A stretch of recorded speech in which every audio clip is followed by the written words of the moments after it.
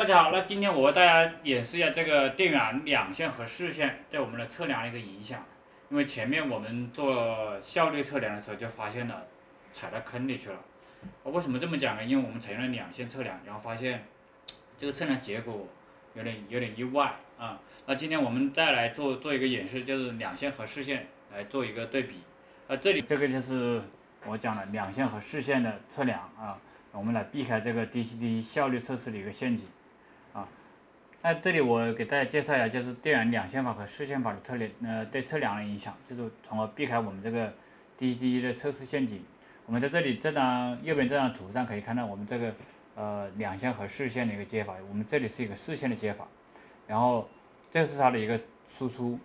啊，输出供电，然后这是它的一个顺时单，它的它会在就近呢会有一个补偿，就是这个一般在内部，然后我们为了呃把这个输出线的一个压降给补偿掉，所以我们会有一个顺时单，啊，从这里啊接到这个 DET 就是我们的贝特电源的两端来检测这个呃让这个两端的电压就是我们所需要的设需要设置的一个电压，啊这样的话我们能得到比较准准确的电压。如果我们没有没有这个 Sense，，就是我们采用的传统的没有这个 Sense 端的话，我们只有两线，那这个时候会在这个线上产生不同的压降，那这个压降呢？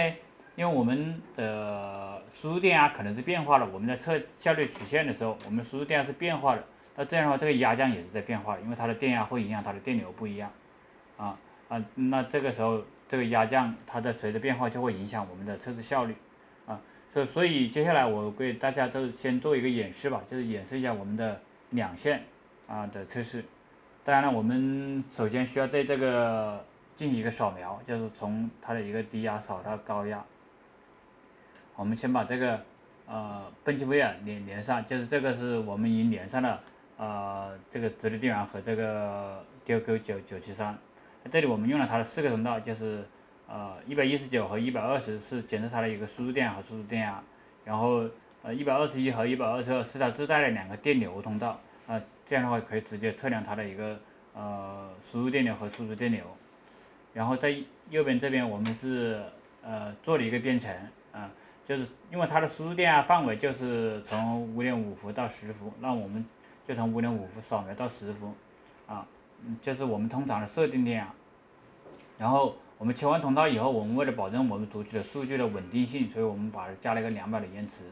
啊，然后最后的话，我们在这里可以自动计算出它的一个效率，得到它一个效率曲线。整个测试测完以后，我们就把它进行关闭。这个测试过程中会有十十呃十个循环。啊，我们现在可以把它先运行起来，啊，让它扫描起来。其实在这里我们可以看到，我们的三四六是监测它的一个输入电压的，然后这边的话，它的一通它是设定电压。我们可以看到，这在八点五伏的时候，它只有八点零伏了，啊，八点零二啊，也是这个时候其实已经产生了一个线的损耗，就是线的一个压降。然后我们随着这个。电压的上升，然后它的输入电流我们可以看到，输入电流是在变化的啊。现在九点五伏的时候，你看它的电有零点七啊，然后我们等一下，它的它的这个输入电压继续上升的时候，这个电流会下降啊。这电流下降以后会产生的压降是不一样的，你看现在变成了十伏只有九点六了，所以它相差就变成零点四了。我们刚才是零点五的。好，这个扫描现在扫描完了，我们看一下这个数据的结果。这个是我们扫描所得到的一个数据，我们看 X Y 图上面啊，这个你看我们刚开始的效率非常高哦，然后到了呃六伏多一点的时候，这个效率就跌到了一个低谷，只有七十二的效率，然后再慢慢的回升。那这个效率啊，真的是我们走车道的真实的一个效率吗？嗯，然后我们把这个切换成视线的一个测量。好，那接下来我用这个视线的模式再来。进行一遍扫描，来看一下它的一个效率的曲线。我们在这里可以看到这个输入电压和输入呃和它的检测到的一个电压啊，基本上是完全一致的啊，所以这个视线补偿是有效的啊，而且这个电压是直接加到我们我们的板端啊，所以这对我们的呃测试结果也是最准确的。好，我们这个数据扫描出来，我们可以看到这个。这个效率随着我们的输入电压的呃上升，它的效率是在下降的啊。所所以这个我们前面测到的，我们在六伏的时候会有一个会有一个坑直接掉下去了，然后再起来了。嗯，这个曲线完全是不一样的啊。所所以这两个曲线测出测出来的结果差别就非常大了。我们可以看一下前面测量的那个数据。我们把这个数据打开了以后，然后我们再看回到刚才这个界面，这是我们的